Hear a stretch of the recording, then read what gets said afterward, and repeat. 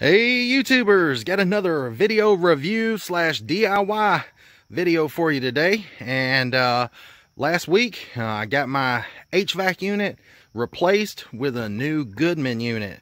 And I couldn't be happier. This thing is uh, a lot quieter and uh, shouldn't have to worry about this thing for many years and so I just wanted to show you uh, one of the steps that needed to be done and the installation that my buddy who installed the unit he was like man you can do this yourself uh, you don't need to pay me to do it and uh, I said okay yeah I'm all about saving a little money so he was like uh, do you see the uh, lines coming out of the block there? And I said, yes. And he said, well, you've got a cold line, which is the thicker piece of copper. And if you put your hand up to it, you'll notice it's really cold. And then you've got a power wire coming out to go to the unit. I guess that goes to your thermostat or whatever. And then you have a hot line, which is this one here and uh, they both go right down here to these little service ports and they hook into the unit. I'm not going to get into trying to explain HVAC because I'm not an HVAC guy, but I have enough common sense to come out here and know what needs replacing. As you can see, the old uh, line had this uh, foam on it and you can see it's completely deteriorated. The reason you want to keep this foam in good shape is because this is a cool line right here. So the cooler that you keep that line, the more efficient your compressor is not going to have to to work. I'm sure you're sitting there thinking, well, you know, that's that's not no big deal.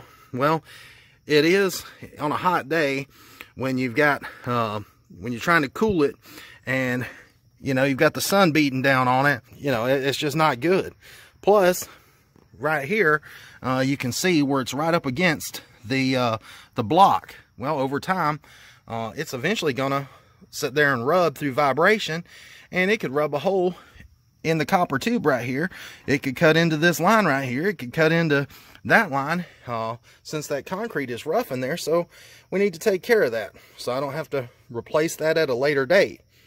So anyways, he told me to go out and get some uh, this rubber foam from the store. Go ahead and, and uh, put it over this, this line right here. And right here for this, this uh, power wire, I want to take it a step further and I've got some wire loom, some real small wire loom that's going to go over that power wire so there's no chance that it's going to cut into the jacket there on that wire and cause a frayed line or rodents could chew on it or whatever. And then uh, I'm going to figure out what I'm going to do with this this hot line here to keep it from rubbing. I'll probably put a piece of wire loom or something over top of that to protect it as well. And then I've got a new product for you at the end of this video once I get everything all tucked up nice and neat and squared away. So stay tuned.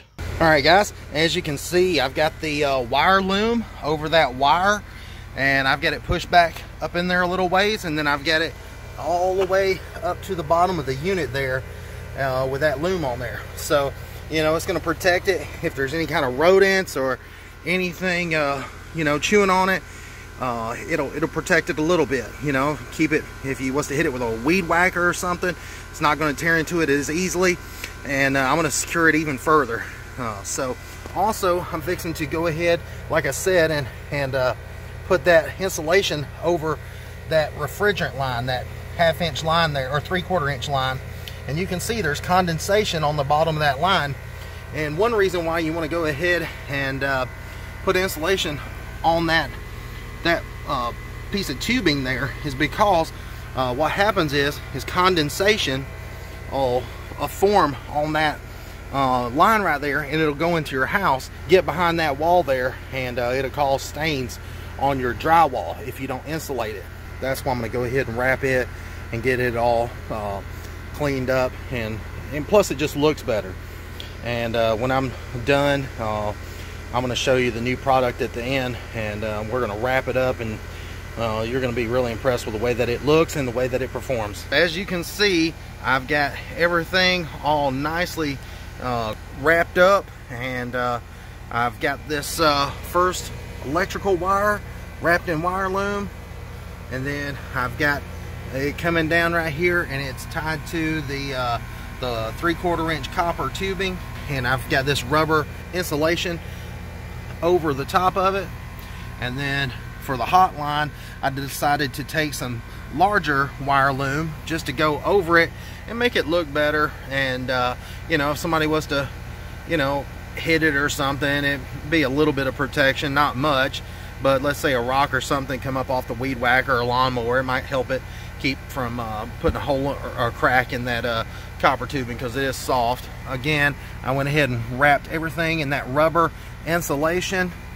And, uh, you know, I know that you're supposed to put uh, electrical tape over it, but I just left uh, Home Depot and uh, for the HVAC tape, it's pretty much just a wide electrical tape. It's about two inches wide like duct tape. It was like seven, almost eight dollars.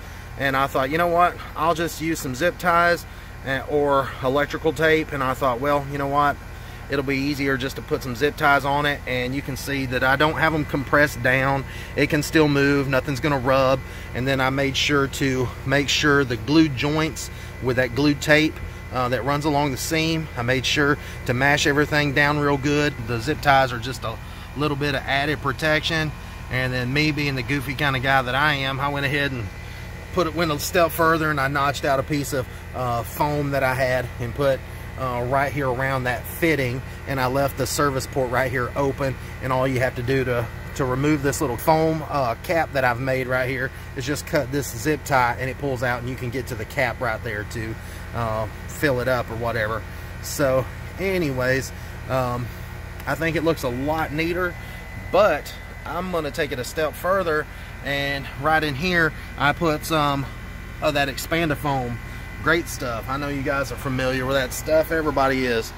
And it's like three bucks at Home Depot or four bucks. And then I just filled that that gap in there on the top and bottom and made sure uh, there was no areas where bugs or mice or or air uh, could get in there very easily.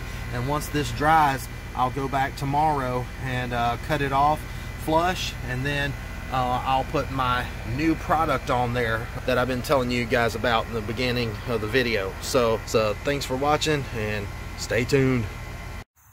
All right guys uh, before I show you the new product um, I, I, wanted to, to uh, tell you exactly what kind of insulation you want to get uh, to wrap uh, those copper lines going in and and out of uh, the HVAC unit. And uh, what you want to get is this soft uh, rubber uh, piece of uh, insulation.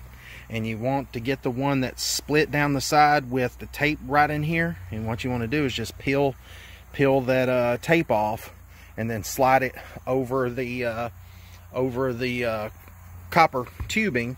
And that way that pipe is insulated. Now, don't be tempted to cheap out and get the, the, the cheaper uh, foam uh, insulation because it doesn't have a tape on it one so it's not going to stay all nice and sealed up. You'll have to put some tape around it but then it just doesn't do as good of a job as uh, the rubber. And I know this deteriorates really bad in the sun. All right. Well this here is the Airex Pro System kit and uh, you know I'm going to be able to use some of this kit not all of the kit.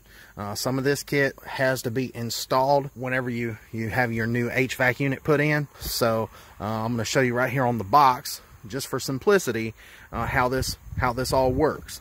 So right in here you can see that they've got a piece of that rubber uh, insulation around the the tube. And then there is a wrap that goes around it. And I have some of that wrap right in here. It's uh, it's a nice uh, rubbery feeling wrap. It comes in black or white and uh, it has uh, Velcro on the side of it. It's got the Velcro uh, actually on this side and then there's Velcro on this side so when you curl it around the insulation uh, you can just Velcro itself uh, to itself and you know it stays around the the pipe like as shown right here it provides a good insulation. Plus it also uh, is a, a UV uh, protector for that that uh, that piece of insulation in there.